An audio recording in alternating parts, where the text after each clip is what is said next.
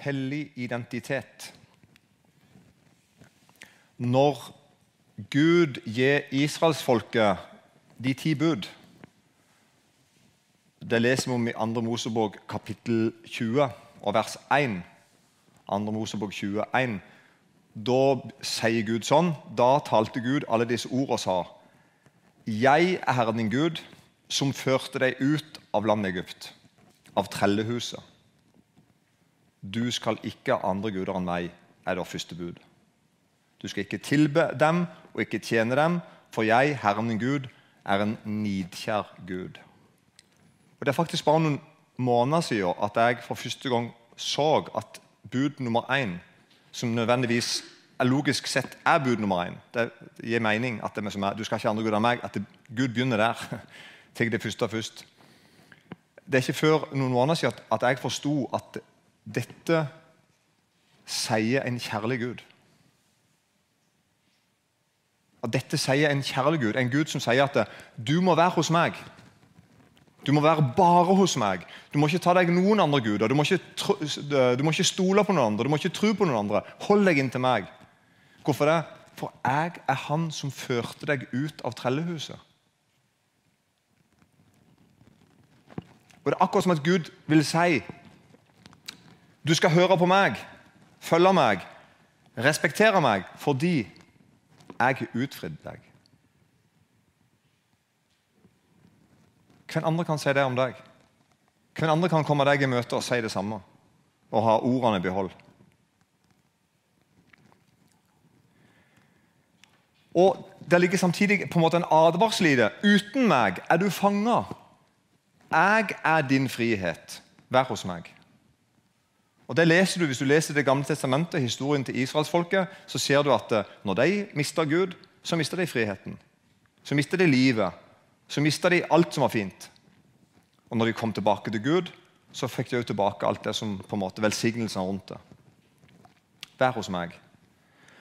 Og Derfor er det jo sånn at eh, utfrielsen fra Egypt, altså det at Israelsfolket var fanger og slaver i Egypt i mange hundre år det var nok ikke så ille de første årene, når Josef og de kom til, kom til Egypt. For da var de heltene i filmen.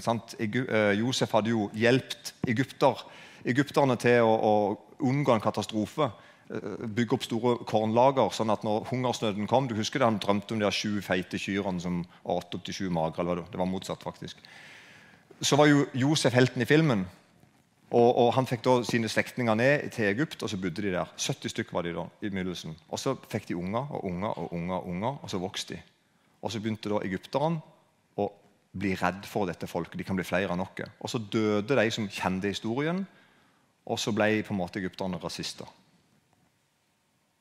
Og mislikte jødene fordi de var jøder. Men utfrielsen fra Egypt det er at det til slutt at Gud gjennom Moses førte landet, eh, sitt folk ut av det landet, det er på en måte ryktet til Israel. Det er det fortsatt.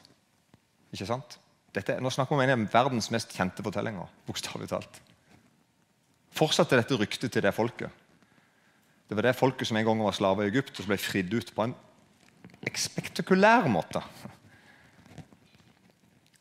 Så Israel har en gud som kan utfri. Han kan føre gjennom vann og ørken. Ingen makt kan holde Guds folk tilbake. Ingen politisk makt. Ingen filosofisk makt. Ingen religiøs makt. Ikke Egypts krigsmaskin, og heller ikke farao. Sikkert verdens mektigste mann.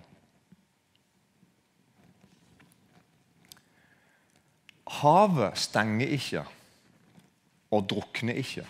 Rødehavet ble veien ut av Egypt. De kunne gå tørrskodd gjennom et hav. Og ørkenen fikk fær ikke dødsgrep på Guds folk. Jeg så en film senest i går, eller en dokumentar faktisk, av en journalist som reiste gjennom en, en, etter par. De fikk motorstopp, og de sto i to og en halv time. Hadde motorstopp. Allerede da ble det fare for livet deres. Liksom. Det var helt utholdelig å være der. Israelfolket levde og bodde med hele familien. En haug med gamliser og babyer og ungdommer, full pakke, i 40 år. Det er en demonstrasjon uten sidestykke. De kan gå 40 år i en ørken, de kan bekjempe enhver fiende, Det gjorde israelsfolket. Og de tørste heller ikke i hæl, og de får manna, brød fra himmelen, som de kan ete i 40 år.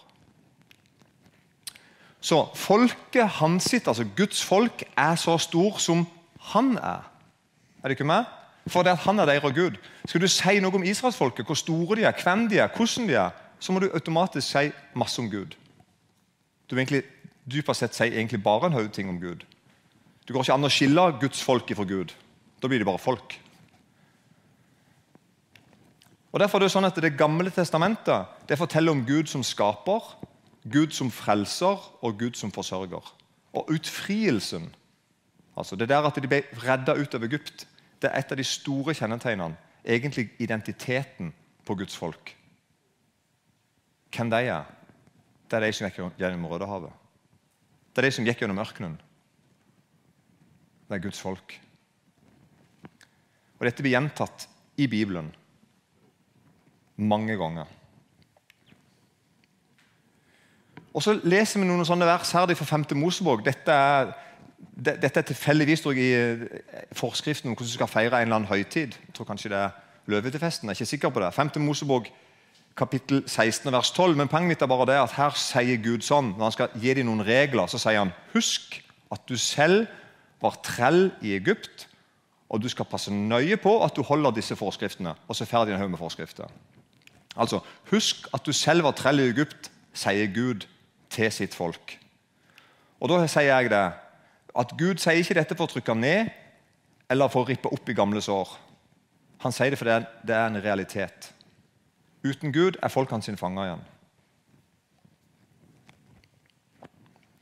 Og Derfor er det sånn at fellesskapet som Guds folk har, altså det, fellesskapet som, det, det som gjør at vi har et fellesskap, Guds folk, det er, handler veldig mye om at han har fridd oss ut. Vi, ofte at, vi kaller det ofte for å bli frelst. ikke sant? Det å bli fridd ut et annet ord er jo å si frelse. Vi var fanger, vi var hjelpeløse, men han var mektig til å frelse. Det er fellesskapet Guds barn har på jord. Du har hørt det? De synger sang om det, og leser om det, og griner om det, og ber om det, og forteller om det, og forkynner om det, og vitner om det. Det, det er det mye handler om, håper jeg. Og da er det jo sånn at Før vi ble fridd ut, da var det ikke noe stas å snakke om fangenskapet. Sånn er det hvis du møter enkeltpersoner i dag òg som er, som er fanga i forskjellige synder, eller fanga i et eller annet ugudelig noe, vekk for Gud så er det veldig sjelden at de vil snakke, at et menneske vil snakke om fangenskapet sitt. Og faktisk vil mange si at de er ikke fanga engang. Men nå, etter vi er blitt fridd ut, da snakker vi ganske lett om fangenskapet. Det er en haug med vitnesbyrd om folk som satt fast i forskjellige ting, og så kom Gud og løste meg, frelste meg, fridde meg ut av det. Og veldig viktig Gud var ikke frelseren vår. Han er det.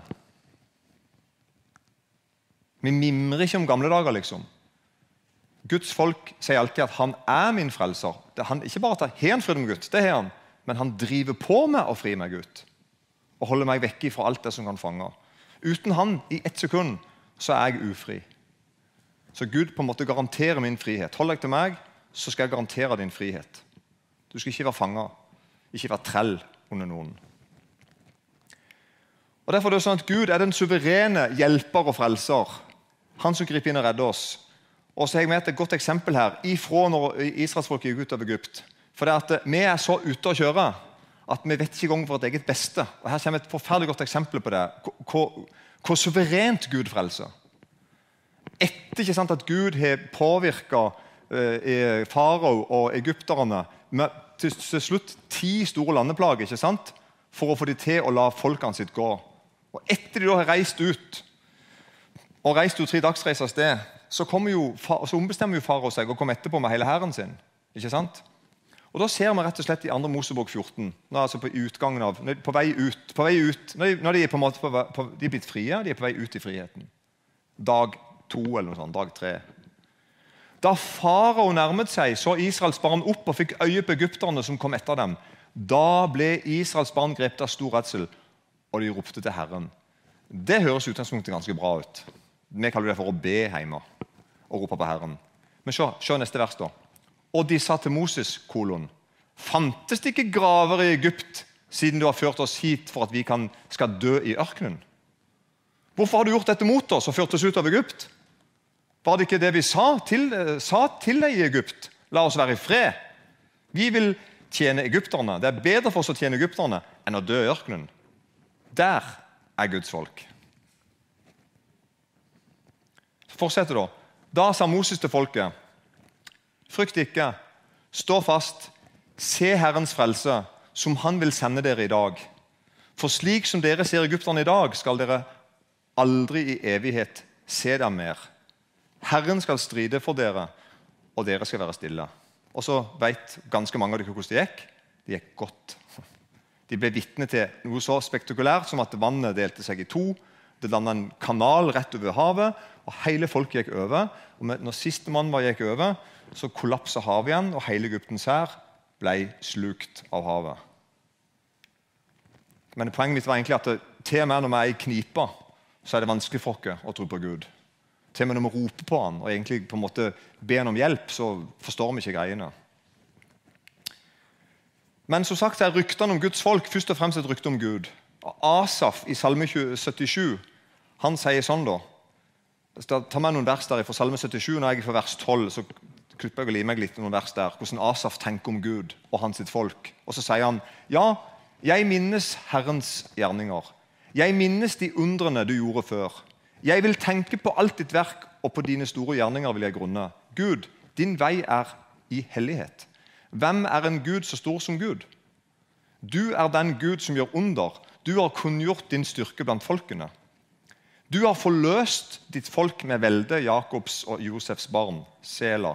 Vannene så deg, Gud. Vannene så deg og bevet. Ja, avgrunnene skalv. Og I vers 20 står det Gjennom havet gikk din vei, dine stier gjennom store vann, og dine fotspor ble ikke kjent. Du førte ditt folk som en jord ved Moses og Aronsson.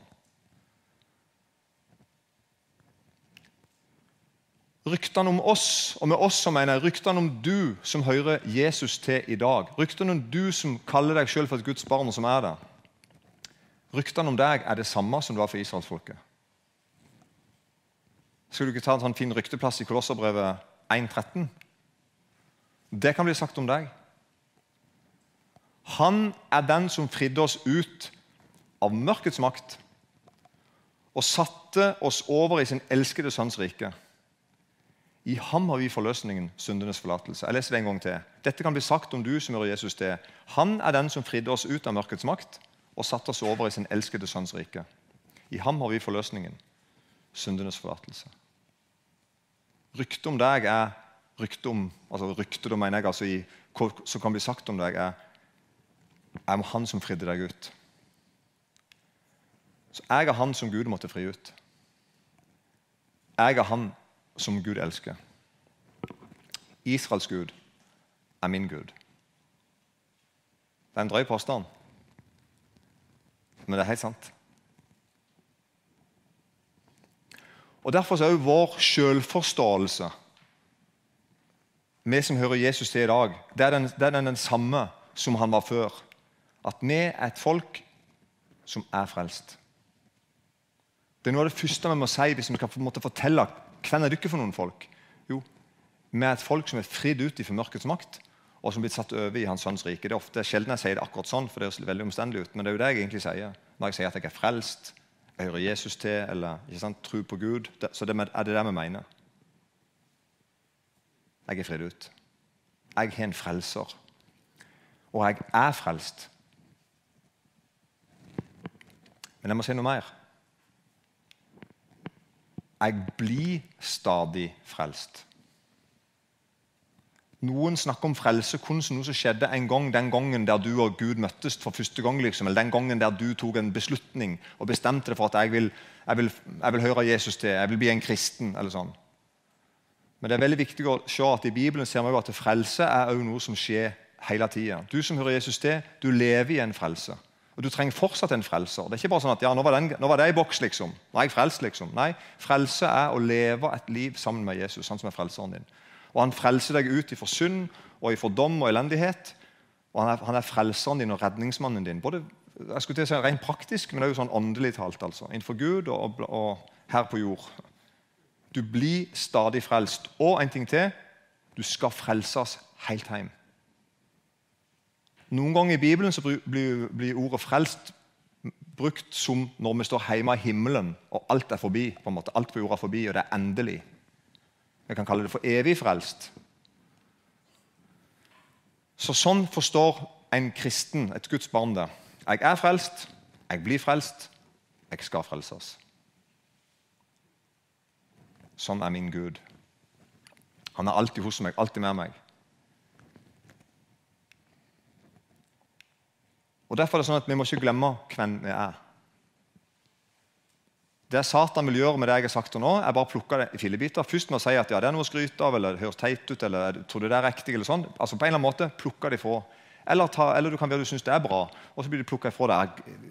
Glem det, liksom. Dette er ikke noe å lage noe nummer av. Men det er faktisk noe å lage noe nummer av. Jeg er tatt ifra mørkets rike og over i Hans Sønns rike. Jeg var før død, nå er jeg levende. Det er en, vanvittig forandring som har skjedd i livet mitt. Og Nå skal vi bare lese litt fra 1. Peters brev. Og Det som er interessant med 1. Peters brev, det er at det er et brev skrevet til, til forfulgte kristne. Kort fortalt. Det begynner sånn allerede i vers 1, blir det vel, 1. Peters brev, kapittel 1 og vers 1. Så står det der at Peter, Jesu Kristi apostel, altså han der, der du ikke vet hvem er, han Peter Peter, det er han som skriver brevet. Og så skriver han, sier han sjøl, til de utvalgte. Han begynner med en gang med det. Det er det første han sier om dem. Han vil minne med en gang. Dere er de utvalgte. Hva det vil si? Dere er de som Gud elsker. Og så, kommer det med en opplysning. Dere som er utlendinger og spredd omkring. og Så kommer det navnet på en del plasser som i dag ligger i Tyrkia. Altså De var, de var fordreven ut av der de kom ifra og måtte flykte langt av sted. Og hovedsakelig fordi de var kristne og ble forfulgt for sin tro. Og De hadde det ikke fint, veldig mange av de. Familien ble, ikke sant? Mange ble skilt fra eh, venner og kjente. Noen mista livet. og De fleste var fattige og måtte gå ifra alt de eide og flytte til en annen plass. De bodde som fremmede i et annet land. Og Så skriver nå Peter et brev. Og for å være helt ærlig, Hvis jeg hadde vært i Peters sko Det hadde jeg selvfølgelig ikke. Og da hadde jeg sikkert gjort det Peter gjorde. men du ikke skjønner, hvis jeg, jeg tenker at hvis jeg skulle skrevet et brev til en gjeng som jeg hadde forkynt et budskap til, som hadde satt deg i store problemer Det er det Peter har gjort. ikke sant? Peter og deg har forkynt et budskap som har ført til at dette er et folk med store problemer. Jeg tror at Hadde, hadde jeg skrevet brevet, så tror jeg fort jeg hadde skrevet sånn Sorry, med. Eller noe sånt. Eh, dumt at det gikk sånn. Eh, håper du ikke har det greit. Eh, og Sendt meg noen tips, linker til Nav, kanskje. eller et eller annet. Så prøvde jeg å hjelpe dere på en eller annen måte. ikke sant? Og så hadde jeg kjent på sånn en Hva er det, hva er det jeg har vært med på å stelle i stand? Jeg, hadde, jeg tror jeg hadde det. Her kommer jeg og gitt dere Jesus, og så har dere en haug med problemer økonomiske problemer, sosiale problemer, helseproblemer. Bo i et fremmed land, er utlendinger.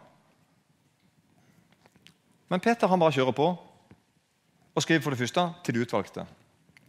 Og så utdyper han hva han mener med det. Utvalgt etter Guds, Gud Faders forutviten, i åndens helliggjørelse, til lydighet og til bestenkning med Jesu Kristi blod, kolon, nåde og fred være med dere alle i rikt mål. Der, der er Peter.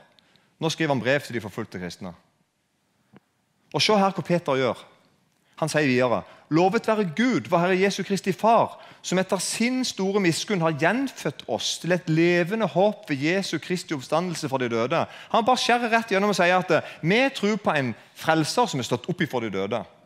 Og vi har en arv som er uforgjengelig og uflekka og uvisselig, og som er gjemt for dere i himlene. Og Det siste der har jeg blitt veldig glad i det siste. Jeg har en arv. Jeg òg har det. Du òg, som Jesus det. Jeg har en arv og den er gjemt i himlene. Hvorfor det? Jeg tenker iallfall én grunn. Ingen kan ta den ifra meg. Han er gjemt i himlene. Men det er min arv. Dere som ved Guds makt blir holdt oppe ved tro, til den frelse som er ferdig til åpenbart i den siste tid. Peter minner Guds folk på hvem de er. Det vil jeg òg gjøre. Jeg vil vinne deg på hvem du er. Og så fortsetter han. Dere, derfor jubler dere av glede, sier han da.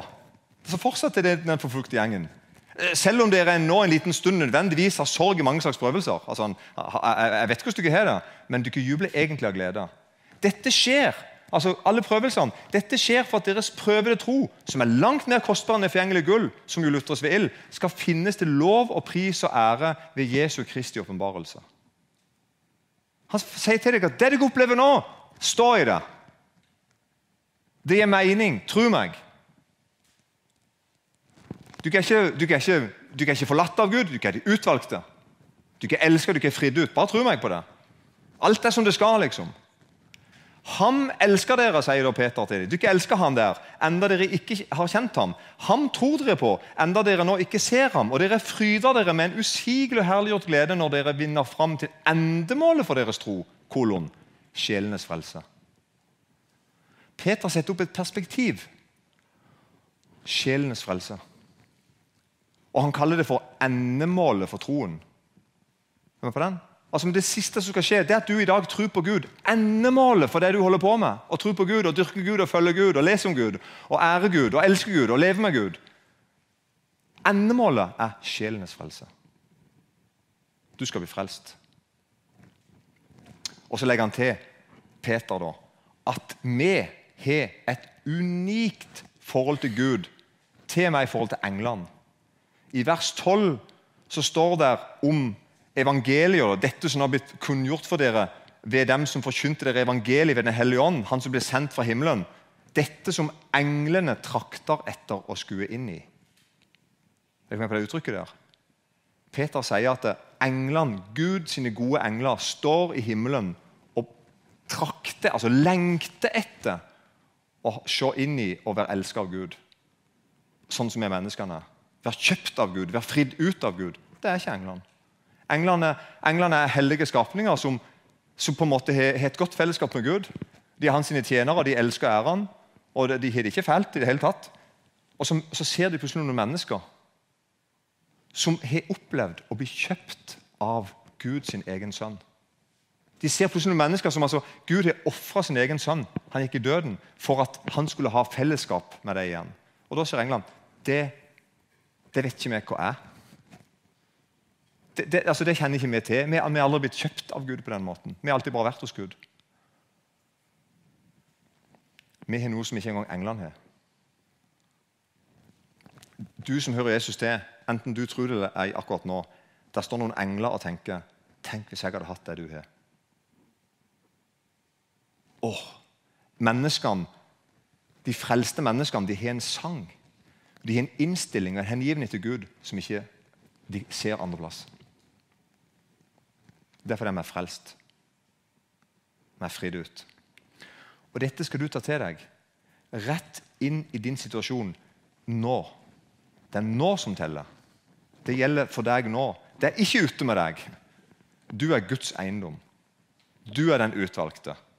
Du er den elska. Ok, Fortsatt i, i eh, Peters brev. Etter at han minner dem på hvem de er, og på hvem Gud er, sånn som jeg nå prøvde å gjøre litt, jeg òg, så går Peter rett på sak. Og så er overskriften i min bibel sånn Når vi var kommet 13 vers ut i brevet, kapittel 1 Han skriver til folk som har det forferdelig. Så sier han egentlig jubler du ikke av glede. Ok, du ikke er det vanskelig akkurat nå, men det må du ikke bare stå i. Men egentlig er det ikke sånn og sånn. Og sånn og sånn. Og så kommer han da altså i vers 13.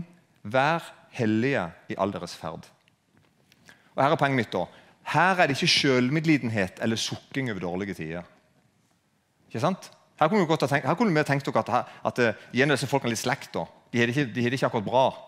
Det er ikke rart om disse folkene ikke er glad for tida og ikke elsker nesten sin som seg sjøl.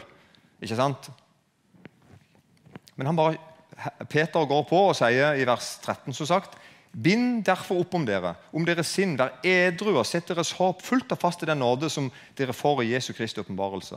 Som lydige barn må dere ikke skikke dere etter de lystene som dere før hadde, i deres uvitenhet, men vær etter den hellige som kalte dere også dere hellige i all deres ferd. Det sier Peter. Og så siterer han Gamletestamentet og sier sånn For det er skrevet Dere skal være hellige for jeg er hellig. Hvis en Guds barn blir spurt om hvorfor skal du leve hellig, så svarer vi fordi Gud er hellig. Derfor er jeg hellig. Og Så fortsetter han da i kapittel 2, vers 1. Legg derfor av all ondskap, all svik og hykleri, misunnelse, all baktalelse, Som nyfødte barn må dere lengte etter den uforfalskede åndelige melken, for at dere ved den kan vokse til frelse, så sant dere har smakt at Herren er god. Og Nå har jeg skrevet noe her med rødt som står på min regning, men det Peter egentlig sier, er Ikke si 'jeg er en synder', så jeg får bare nesten fortsette å synde. Er det ikke med? Det er det jeg opplever at Peter sier. Og så sier han noe annet. Vær heller en prest. Og Her sitter vi tror jeg, fast som kristenfolk veldig ofte. Jeg tror vi gjør det nå for tida òg. Litt sånn mer enn vanlig. At vi tenker at siden jeg er en synder, så kan jeg bare holde på med å synde. Det er jo det syndere gjør. Og så kommer Peter her og sier du skal ikke gjøre det. Du er ikke en synder. Du er utvalgt, du er hellig, du er satt fra mørket og inn i Hans Sønns rike. Og ikke skal være hellige fordi at jeg er hellig. Ikke driv på med synd. Vær heller prest. Sånn skriver han det da. Kom til han, den levende stein. Nei, jeg si vers 4 i 1. Peter 2. Kom til han, den levende stein, som vel bevraket av mennesker, men er utvalgt og dyrebar for Gud. Og bli også selv oppbygd som levende steiner til et åndelig hus, til et hellig presteskap, til å bære fram åndelig offer, slike som er Gud til behag ved Jesus Kristus. Ser du ikke for dere det? Dette skal vi holde på med. Jeg skal være Gud til behag. Så sier han videre Men dere er en utvalgt ett. Et kongelig presteskap. Et hellig folk. Et folk til eiendom. For at dere skal forkynne hans storhet. Han som kalte dere fra mørket til sitt underfulle lys. Dere som før ikke var et folk, men nå er blitt Guds folk. Dere som før ikke hadde funnet miskunn, men nå har fått miskunn.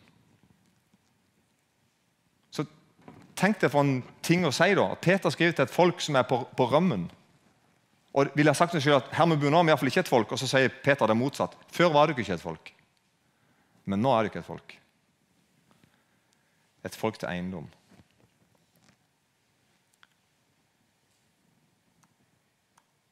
Kjære Jesus, velsigna deg sagt for navnet ditt skyld.